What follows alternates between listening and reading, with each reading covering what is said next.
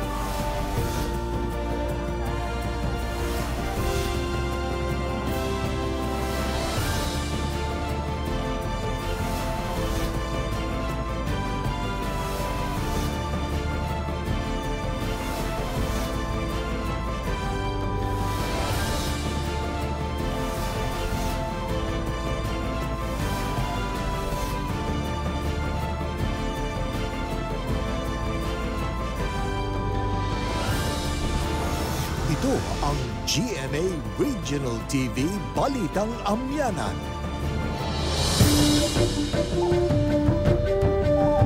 Masantos niyang araw na imbaga malam kapuso. Narito na ang Balitang Amyanan, hatid namin ang mga pinakamalaki at pinakahuling balita sa Hilaga at Gitnang Luzon. Kami ang tropa ng katotohanan na maghahatid ng mga balitang walang kinikilingan at walang pinoprotektahan. Live mula rito sa GMA Complex sa Dagupan City, ako po si Joan Punsoy. La Union pinag-aaralang isa ilalim sa state of calamity. Bilang na evacuees, umabot na sa 15,000. Mula sa La Union, makakasama natin live si Jasmine Gabriel Galban. Jasmine. Joan, maghapon na naging maayos ang lagay ng panahon sa malaking bahagi ng probinsya ng La Union. Kaya naman, humupa na rin ang baha sa iba't ibang mga bayan sa probinsya. At sa ngayon nga, mula doon sa libu-libu mga residente na inilikas simula nung lunes ng gabi hanggang kahapon, kaninang umaga ay nagsimula ng umuwi ang mga residente sa kani-kanilang mga bahay. Nakataas pa rin sa red alert status ang probinsya ng La Union, kabi-kabilaan ng clearing operations ng otoridad at sa paghupa ng baha, makikita ang hagupit na iniwan ni Bagyong Maring mula sa sektor ng agrikultura at maging sa mga ari-arian ng ilang residente. Bunsod nito, pinag-aaralan ngayon ng provincial government ang pagdeklara at pagsasailalim sa state of calamity ng probinsya. magkaroon ng freeze ng price and also magkaroon ng access sa loan siguro yung yung mga constituents na Umabot sa mahigit 15,000 individual ang inilikas sa kasagsagan ng bagyo. Kaninang umaga, nagsimula na rin magsiuwian ang mga apektadong residente. Naglakas loob na po kami na ma-rescue. Meron naman pong mga polis na nag-responde po sa amin. First time po naming mag, ano, mag-vacuate. Sa datos ng PDRRMO, as of October 13, 2021, 2 p.m., tatlo ang naitalang sugatan sa pananalasa ng Bagyong Maring habang lima ang naipaulat na missing matapos tangayin ng Agos sa kasagsagan ng pagbaha sa mga bayan ng Tubaw at Sudipin. Dalawang barangay naman sa bayan ng Bangar ang hirap pa rin mapasok at mahatiran ng tulong ng gobyerno. pagdating sa basic services isolated pa rin kasi sila yung mga rescue ah, rescue boats lang yung yung kayang pumasok doon Sa monitoring ng PDRRMO, nagsimula na kahapon ng restoration ng kuryente at internet connection pero may mga lugar pa rin umano na walang supply ng kuryente. Joan, maghapon na naging abala ang provincial government katuwang ang PNP, Philippine Coast Guard at ang Philippine Navy doon sa relief operations sa iba't ibang mga bayan. Bukod sa relief goods ay namahagi na rin ng mga lutong pagkain ang provincial government, ang Philippine Red Cross, ganun din ang PSWDO. Samantala, tuloy-tuloy din yung assessment ng provincial government doon naman sa damage na iniwan ni Bagyong Maring, especially doon sa infrastructure at agriculture. Nakahanda naman ang tulong ng provincial government na ibibigay sa mga nasalanta ng bagyo. Joanne? Maraming salamat, Jasmine Gabriel Galban. Walong katao na italang nasawi sa pananalasa ng bagyo sa Ilocosur. Limang iba pa nawawala. Mula sa Ilocosur, nakatutok live si Ivy Hernando. Ivy, Joan, kung gaano kabilis ang pagtaas ng tubig baha dala ng bagyong Maring, ay ganun din kabilis ang paghupa nito. Gayunman, dito na rin nakita ang ilang nasawi.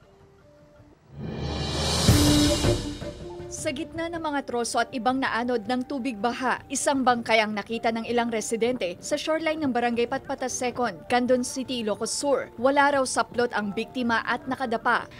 Of this time, wala pang identity yung victim. Di pa natin alam kung ano yung reason kung bakit siya namatay. Tinatayang 5 feet ang height ng biktima at nasa 40 to 50 years old. Sa tala ng pulisya, may tatlo ring nawawala sa bayan ng Suyo. May tig-isa ring nawawala sa Santa Maria at Tagudin. Pitong katao naman ang nasawi na natagpuan matapos humupa ang baha. Dalawa sa Santa Cruz at lima sa Santa Maria. talagang mababang lugar kasi yun. So, mas probably, mga 10 feet po yung lalim ng tubig doon. Kahit saan tumingin, kanya-kanya na sa pangangahoy ang mga residente, mapabata man o matanda. Sa kasagsagan ng bagyong Maring, hindi lang daw mga kahoy ang inanod dito sa Dalampasigan, kundi mga hayop gaya ng baka, baboy at kambing. Ilang alagang hayop rin ang natagpo ang patay sa 2nd District. Nalunod sa Lapas Fishport, Lawag City, Ilocos Norte, ang 13 anyos na si Ryan James Kulili. Kwento ng ina ni Ryan, nagpaalam ang binatilyo na bibili ng merienda kasamang ilang kaibigan. Hindi raw niya akalain na magpupunta sa ilog ang anak. Manam na makaserta, kas lamig di parik na kanyak nga kaslati iso nakit na tay. Ta adadagi tay pakarik na amno na tayen, kas lalo mo lamis ti anam ken. Siguro dalat dito siguro sir ti anam. Baka rek-recovery na at bagbagi na ta anam. Ang focus natin ngayon, tayong mga nasa Philippine Coast Guard is mahanap natin yung bata. Buhay man o yung hindi natin inasahan, kung patay man yon, at least makita natin yung bangkay, may bigay sa pamilya para mapanatag naman yung family nila.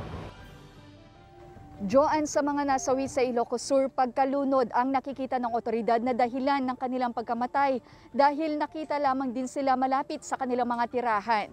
Sa ngayon patuloy ang search and retrieval operation ng otoridad sa 2nd District. Joan? maraming salamat, Ivy Hernando. Mga alagang hayop sa Cagayan at Pangasinan nangamatay dahil sa pananalasa ng bagyo. Naritong report. Nangamatay ang ilang alagang hayop sa Santa Maria, Pangasinan dahil sa pananalasa ng bagyo. Nalunod umanong pitong baka at limang kambing sa barangay Sitio Imo sa barangay Samon. Ayon sa otoridad, nalubog din sa bahang ilang bagong tanim na mais at aanihing palay. Nasa 66 na kambing at 18 tupa ang nalunod sa mga alagang hayop ni Maverick sa bayan ng Gataran, Cagayan. Limang kambing at tatlong tupa na lamang umanong na isalba ni Maverick. Kung susumahin, aabot sa 412,000 pesos ang halaga ng maalagang hayop na natangay dahil sa pag-apaw ng ilog sa bayan ng Gataran, bunsod ng Bagyong Maring. Sobrang lungkot namin ngayon dahil hindi namin alam kung paano namin sisimulan ulit yung pag-aalaga ng kambing. Sa inisyal na datos ng Department of Agriculture, mahigit sa 114 million pesos ang naitalang danyo sa agrikultura sa Cagayan Valley Region. majority nito ay uh, sa Cagayan na province po. No?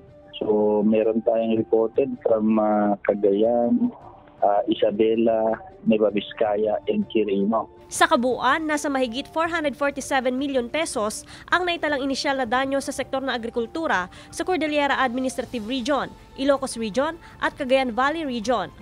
Joan Ponsoy, Balita Amyanan. Ilang sasakyan tumirik sa gitna ng kalsada dahil sa mataas na level ng baha sa Dagupan City. Yan ang tinutukan live ni Russell Simorio. Russell, Joan, bagamat unti-unti nang gumaganda ang lagay ng panahon dito sa Dagupan City, apektado pa rin ang kabuhayan ng marami dahil sa baha na dulot ng pananalasa ng bagyong Maring na sinabayan pa ng high tide. Alas 8 pa lang kaninang umaga, nasa halos dalawang talampakan na ang lalim ng baha sa ilang pangunahing kalsada sa Dagupan City. Pahirapan ang pagdaan ng mga sasakyan. Ang ilan sa mga ito nasiraan pa sa gitna ng kalsada. Malaking abala raw para sa motoristang si Mark ang mataas na level ng baha na bunsod din umano ng high tide. Sobrang hirap po, ah, hindi na mapandar yung motor. Hanggang tuhod na, hanggang doon ba doon. Nagsabi naman po sila pero hindi naman na yung sana ganyan kataas yung tubig. Malaking kalbaryo sa mga motorista ang mataas na level ng baha dito sa bahaging ito ng Tapwak District, Dagupan City. Yung mga light vehicles na magpupumilit pa rin na dumaan dito sa kalsada, e tumitirik sila sa gitna. Yung iba naman, naghahanap ng alternatibong ruta para makaiwas sa baha. Lubog din sa baha ang paligid ng St. John the Evangelist Cathedral. Mailang pumunta sa simbahan na napilitan na lang na lumusong sa baha. Samantala, nasira naman ang ilang shed sa Tondaligan Beach Park dahil sa bagyong Maring. Pasakit ito sa mga shed owners, lalo't halos wala na raw silang kinikita dahil sa pandemya. Biglaan kasi sir, walang hinto yung hangin. Tapos biglang humangin ng malakas. Yun, kaya nasira yung dalawang shed. Sa monitoring ng City Disaster Risk Reduction and Management Office, may ilang mag-anak na ang inilika sa mga evacuation center. Galing sila sa mga barangay ng Maluwod, Kalmay at Bunuan Giset. Balikwan nito, nag-preemptive evacuation sila kasi yun nga, biglang pagtaas ng tubig nung yung kan kaninang uh, madaling araw. Joan sa tala naman ng Dagupan City Social Welfare and Development Office, umabot na sa 77 pamilya ang bilang ng mga inilikas sa mga evacuation center. Tuloy-tuloy din ang pamahagi ng relief goods sa mga ito na nasa lantangan ng bagyo. Sa assessment din ng Dagupan City uh, Disaster Risk Reduction and Management Office, napansin nila na mas uh, mabilis humupa ang baha ngayon, hindi gaya dati na inaabot ito ng ilang araw o ilang linggo. Joan. Maraming salamat, Russell Simorio. Lalaki sa Kalasyaw, Pangasinan, arestado matapos magpakita ng maselang bahagi ng kanyang katawan. Sundan sa report ni Claire Lacanilaw.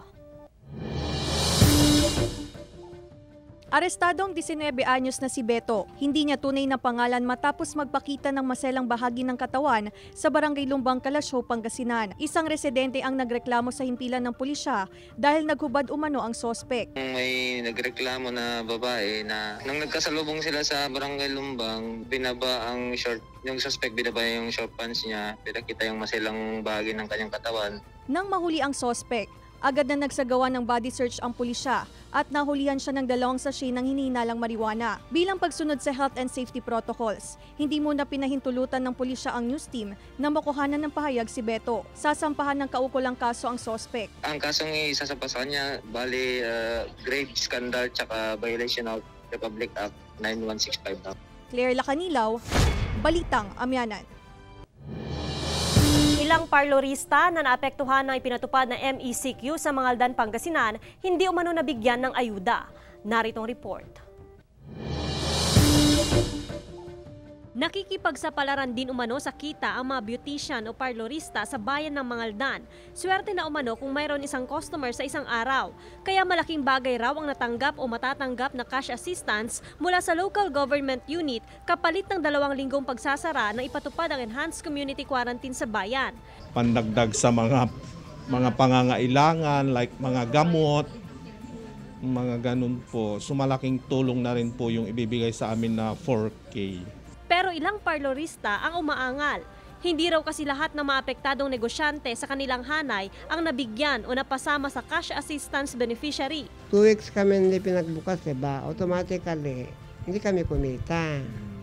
Tapos, ang inaan ko lang, kagaya, kagaya, kagaya ko, hindi ako nakakuha ng permit. Dapat, yung parang kusang lang nilang magkano kung magkano ang ibigay. Hindi lang din sana umano mga salon owner lamang ang bibigyan, kundi pati magi ang kanilang mga tauhan. Kung pwede pati yung mga beautician na tauhan mo, binibigyan, hindi rin kumita yun eh, kasi hindi naman sila may-ari ng parlor. Para, para may pangtusos naman kami sa pamilya namin. Kasi dalawang, ay two weeks kaming sarado eh. Hindi na nagpaunlak pa ng panayam ang lokal na pamahalaan pero una na raw nilang ipinaliwanag sa mga parlorista na tanging mga may permit lamang umano simula noong 2020 ang prioridad na mabigyan ng ayuda. Kasalukuyan din umano ang verification sa mga kwalipikadong benepisyaryo. Kasama si Jing Dakanay, Joan Punsoy, Balita Amyanan.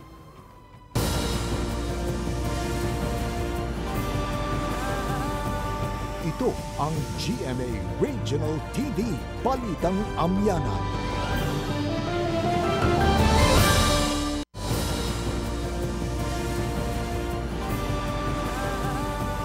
Ito ang GMA Regional TV Balitang Amyanan. Bangkay ng dalawang batang natabunan ng lupa sa Baguio City natagpuan na. Sundan sa report. Sa retrieval operation, natagpuan ang bangkay ng dalawang minor de edad na biktima ng landslide sa barangay Dominican Hill Mirador, Baguio City. Nakilala ang mga biktima na sina Judy Rose Tulipas, 12 years old, at Talia Casidi Ocampo, 4 years old. Ayon sa otoridad, bibigyan umano ng tulong ang mga kaanak ng mga biktima na wala pang pahayag. Sa gitna ng pananalasa ng bagyong Maring, nirescue ang ilang residente ng barangay Patukan na Bangged Abra. Natrap ang ilang residente sa taas ng kanilang mga bahay. Isa-isa silang sinakay sa rubber boat. Sa tala ng MDRRMC La Paz, labing-anim na individual ang narescue sa lugar at kabilang dito ang ilang bata at buntis. Unti-unti na rin umanong humuhupa ang baha sa lugar. Trace De Leon, Balitang Amyanan. Labing isang barangay sa Kalasyaw, Pangasinan lubog sa baha. Marusay River umapaw na. May ulat si Claire Lacanilaw. Perwisyo raw para sa ilang tricycle driver tulad ni Freddy Papio ang naranasang baha sa barangay Talibao, Kalasyaw, Pangasinan. Inaasahan na raw nila na magtatagal ng halos isang linggo ang baha bago tuluyang mawala ang naipong tubig sa lugar. Dahil malalim ang baha, hindi raw makadaan ng ilang tricycle. Hindi kami makapasok dyan, malalim. Tapos, oh, siyempre kung kikita kami ng ano, isang daan lang, pambili ng ulam, ganun lang, bagoong. Wala na, yun lang pagkasyahan namin. Isang barangay Talibao na kabilang sa low-lying barangays na madalas bahain tuwing mananalasa ang bagyo kaya ang bagka ang nagsisilbing transportasyon ng mga residente dito. Ay, siyempre, masyadong malalim. Mahirap tumawid. Ayon sa MDRRMO, nasa 10 feet na ang level ng tubig sa Marusay River. Labing isang barangay ang nakararanas na umano ng pagbaha sa bayan. Wala pa namang naitatalang inilikas na residente. Dagdag pa raw sa nararanasang pagbaha ang pagbaba ng tubig ulan mula sa upstream. Kasi yung ating floodwater monitoring system sa may Marusay River ay nalubog na po yun. So overflowing na po doon sa ating Marusay River. Kasama si Daryl Peralta, Claire Lacanilaw, Balitang Amyanan. Tulay na nasira dahil sa bagyong Maring sa Lucusur, minamadali ng ayusin. Silipin sa report ni Ivy Hernando. Sarado pa rin sa motorista ang Bayugaw Bridge ng Santa Cruz, Ilocos matapos masira sa pagdaan ng Bagyong Maring. Sa kasalukuyan, 7 kilometrong detour ang dinadaanan ng mga motorista na sakop ng mga barangay Sidawen, Amaraw, Babayawan, Lalong at Sagan. Gayunman, tanging light vehicles ang makakadaan, kaya stranded pa rin sa magkabilaang bahagi ng tulay ang ilang sasakyan. Kasi yung Bayuga Bridge, one of the oldest bridge dito sa Ilocos Sur Second. So we could not uh, determine, kasi maraming factor eh, nag-settle yung pier ang about 2 meters, kaya nagsag yung, ano, yung dalawang span. Ilan sa nakikitang sanhi ng pagkasira ng tulay ay ang patuloy na widening construction nito at ang malakas na ragasan ng tubig dulot ng bagyong maring. 24 oras ngayong ginagawa ng DPWH ang tinatawag nilang bridge over the bridge. Yung old bridge, papatungan ng Bailey, yung temporary bridge para madaanan. Usually makikita mo yan sa mga nasisirang bridge. Inaasahan na bago matapos ang linggo ay madadaanan na raw ang temporary bridge. Samantala, halos naibalik na ang supply ng kuryente sa First District. Nananatili namang walang kuryente sa ilang lugar gaya ng Santa, Narvacan, Santa Maria, Nagbukel at Burgos. So far yung mga substation natin, gumagana na pong lahat. Okay na po lahat yung mga backbone lines. Ang mga problema lang yung mga lateral. Ivy Hernando, Balitang Amyanan. Mahigit 70% ng mga ambulant vendor sa Dagupan City tumigil muna sa pagtitinda dahil sa baha. Naritong report. Baha pa rin ang ilang barangay sa Dagupan City dahil sa pananalasa ng bagyong Maring at epekto ng high tide. Higit 70% umano sa mga ambulant vendor ang tumigil munang magtinda sa lungsod matapos maapektuhan ng baha. Itinigil din ng Market Division kahapon ang pag issue ng cash ticket sa mga tindera na pinili pa rin magtinda kahit may bagyo. Konti rin na nagbukas at yung mga, mga ambulant vendors, syempre Kailangan naman na mag-issue ka pa ng cash ticket. Oo naman sila. Dalawang taon ng ambulant vendor si Marisa. 250 pesos ang tinatabi niya para sa cash ticket sa kada araw. Malaking bagay raw ang hindi pag issue ng cash ticket. Lalo ngayong maliit umano ang kanyang kinikita tuwing baha. Nakatulong naman pero konting tiyaga lang sa pagtitinda naman. Pag umuulan, tiyaga lang talaga. Okay lang naman yun. Siyempre, kung wala ka naman mapipistuan kung hindi mo rin tatanggapin itong titikitin nila sa'yo eh. Ayon sa Market Division, hindi naman umano malaking kabawasan sa market collection ang paminsan-minsan na hindi pag issue ng cash ticket sa mga ambulant vendor ngayong may kalamidad. Kasama si Henry Domencil, Russell Simorio, Balitang Amyanan. Isang legend si Stephen Fernandez sa Philippine Taekwondo. Lumahok siya sa dalawang Olympic Games sa Seoul at Barcelona kung saan nanalo siya ng bronze medal. After competing, naging coach siya for 24 years at ngayon, siya ang chairman for regional affairs ng Philippine Taekwondo Association. Siya ang tampok ni sports correspondent Martin Javier dito sa Sports Synergy.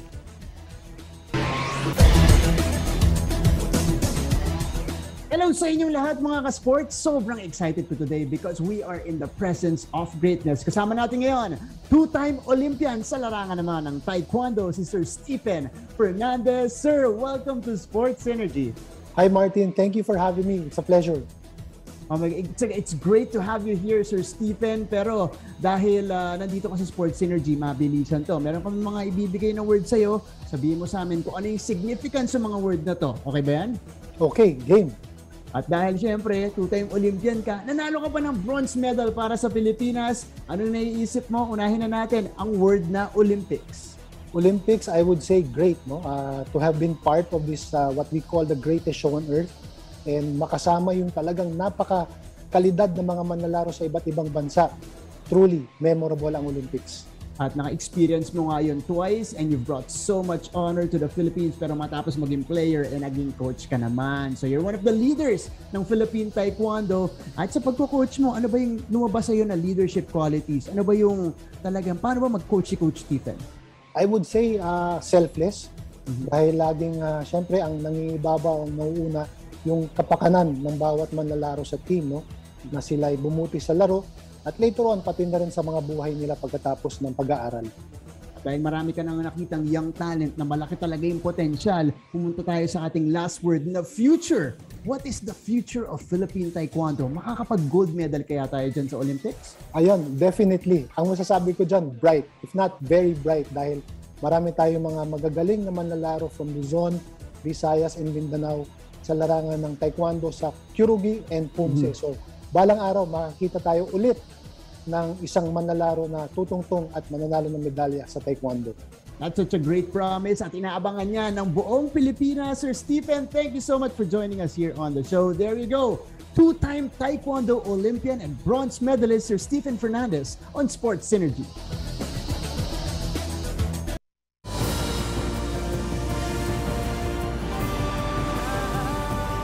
Ito ang GMA Regional TV Balitang Amyanan.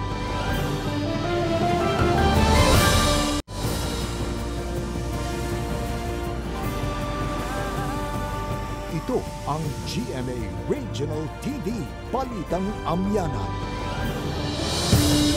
Nasabat ng pulisya ang nasa isang kilong halaga ng hinihinalang shabu sa operasyon kontra ilegal na droga sa Henson Street, Barangay Lourdes Northwest, Angeles City, Pampanga. Arestado ang 30 anyos na lalaki na nakuhanan ng 10 sachet ng hinihinalang shabu. Aabot umano sa 6.8 million pesos ang halaga ng ilegal na droga na nakumpiska sa sospek naharap ang sospek sa paglabag sa Republic Act 9165 o Comprehensive Dangerous Drugs Act of 2002. Bahay na nasa gilid ng dike sa Balawan, La Union, gumuho. Walong katao nakaligtas. Nakaalerto si Jasmine Gabriel Galban. Sa pagbuti ng panahon, buong akala ng mag-anak na ligtas na sila at maging ang kanilang ari-arian sa bagsik ni Bagyong Maring. Pero isang araw matapos manalasa ng bagyo, ganito ang sinapit ng kanilang bahay na nasa gilid ng dike sa Balawan, La Union. Maghapon pang naglinis ang buong mag-anak sa kanilang bahay kahapon matapos na pasukin ng tubig ang kanilang bahay lunes ng gabi. Laking pasalamat na lamang ng mag-anak dahil nakalabas pa sila ng bahay bago tuluyang ma-washed out ang kanilang bahay kagabi. Bago gumuho ang bahay, nakarinig pa raw ang mag-anak ng malakas na tila pagsabog. Ilang sandali lang, tuloy-tuloy na ang pagbagsak ng pader, kisame at ng buong bahay. Siyempre, nervyos na hindi namin lubos akalain na ganitong mangyayari na kwa. God is good talaga. Nakalabas pa kami bago nangyari po yun. Ligtas ang walong katao sa insidente dahil sa lakas ng agos ng tubig sa creek, posible raw na lumambot ang lupa na kinatatayuan ng bahay. Gumuho rin ang kalsadang ito sa Barangay Litak Norte, Santo La Union matapos tumaas ang tubig sa ilog dahil sa lakas ng ulan na dala ni Bagyong Maring. Ang gate ng bahay na ito halos ma-washed out na rin. Takot at saka nangangamba nga kami baka, baka madala itong kanamin, harapan namin eh. Bagong recrap pa naman to. Maging ang tulay na ito na dinadaanan ng mahigit sa isang daang mag-anak sa isang sityo na sira din ng malakas na agos ng ilog. Pansamantalang pinadadaan sa hanging bridge ang mga residente. Pero aminado ang barangay council na peligroso ang pagdaan sa hanging bridge. Hindi na raw kasi matibay ang tulay. Nilagyan na lang ng mga malalaking sanga ng puno at steel matting ang flooring ng hanging bridge. Nakikipag-ugnayan na umano ang LGU sa DPWH. Yung pagkagawa kasi nung tulay, medyo napabayaan yung hanging bridge. Gumagawa ng paraan ng provincial government para sa mabilis na pag-abot ng tulong sa mga residenteng naapektuhan ng bagyo. Nagpunta na yung assessment team namin kahapon and yun nga na-identify talaga yung tulay na as ah, totally damaged. Wala talagang access. Kasama si Wilson C., Jasmine Gabriel Galban. Balitang Amyanan. Barangay Council ng Tapwak sa Dagupan City bumili ng body camera para sa panghuhuli ng quarantine violators. Silipin sa report ni Russell Simorio. Ilang beses nang isinilalim sa lockdown ang barangay hall at ilang sityo sa barangay Tapwak, Dagupan City dahil sa mga naitatalang kaso ng COVID-19. Mas istrikto man ang ipatutupad ng barangay ang health at safety protocols. Mga ibang subdivision, ah, pinagigpitan na lang namin. Ah, sinulatan na lang namin na maghigpit sila doon dahil dumadami yung kaso doon. Mga doctors ata yung mga nandun eh. Bumili ang barangay council ng mga body camera na gagamitin ng mga barangay action force sa paninita sa ilang quarantine violators. Galing ang budget sa natitira pang pondo ng barangay ngayong taon. Malaking bagay rin umano ang mga body camera para matiyak ang lehitimong operasyon ng barangay sa mga curfew violators. Malaking tulong sa atin sa body cam. Makikita po talaga kung nagsasabi sila ng totoo, eh, hindi. Samantala, naitala ng Dagupan City COVID-19 Task Force ang mataas na bilang ng mga recoveries. 69 ang bagong recovery sa lungsod, kaya nasa 553 na ang aktibong kaso ng COVID-19. Malayo sa higit isang libong active cases ng COVID-19 noong mga nakaraang linggo. Hopefully sana pababa na yung number ng mga nagpa-positive. Kasama si Henry Domincil, Russell Simorio. Balitang Amyanan. Outdoor dining sa mga kainan muling pinayagan ng Kalasyaw LGU. Alamin sa report ni Claire Lacanilaw. Ngayong pinayagan na ng lokal na pamahalaan ang dine-in sa mga kainan sa pamilihang bayan ng Kalasyaw, labis naman ang pasasalamat ng tindera na si Juliet Ramos dahil unti-unti na rin daw bumabalik ang sigla ng kanilang kita. Sinisiguro raw niya na natutupad pa rin ang social distancing upang maiwasan ang hawaan sa sakit na COVID-19. One set apart yung upuan namin, ma'am. Tsaka hindi po sila sabay-sabay na ini-entertain namin. Kumbaga, ano, by customer siya kunwari, tapos na yung isang customer, ma'am, susunod na ulit yung isang customer para hindi sila siksikan. okay lang po na ano, may kumakain dito sa labas na hindi naman po marami. Ayon sa lokal na pamahalaan, pinayagan na nila ang outdoor dining dahil sa tuluyang pagbaba ng kaso ng COVID-19 lalo na sa bayan. Maigpit naman nilang pinapaalala na sumunod pa rin sa health and safety protocols. Okay naman po yung dine-in doon kasi al fresco naman po siya, hindi naman po siya enclosed space. Kasama si Daryl Peralta, Claire Lacanilaw, Balitang Amyanan. Patuloy ang bayanihan ng iba't ibang sektor ng gobyerno sa gitna ng pandemya na dulot ng COVID-19. Walong military nurse ng Armed Forces of the Philippines Health Service Command ang itinalaga bilang karagdagang workforce sa Lang Center of the Philippines. Kaugnay ito sa inilabas na mandato ni Pangulong Rodrigo Roa Duterte sa suporta ng gobyerno at pribadong ospital sa Manila sa laban kontra COVID-19. Ginanap ang send-off ceremony sa AFP Health Service Command Parade Grounds sa Quezon City. Samantala, mapapanood nyo po ang episode na ito at iba pang pinakahuling lokal na balita sa official website ng GMA Regional TV, www.gmaregionaltv.com. Pwede rin kayong bumisita sa aming official YouTube channel, GMA Regional TV, at i-click ang subscribe button para sa mga pinakamainit na balita mula sa marehiyon. Dahil sa GMA Regional TV, Local News Matters. Mga kapuso, 73 days na lang, Pasko na. At yan ang mga pinakamalaki at pinakahuling balita sa Hilaga at Gitnang Luzon. Maraming salamat sa pagsama sa amin pati ng mga kapuso sa ibang bansa na tumutok sa mga balita sa rehiyon. Ako po si Joan Punsoy. Kami ang GMA Regional TV, Balitang Miyanan, maninilbihan ng buong puso para sa Pilipino.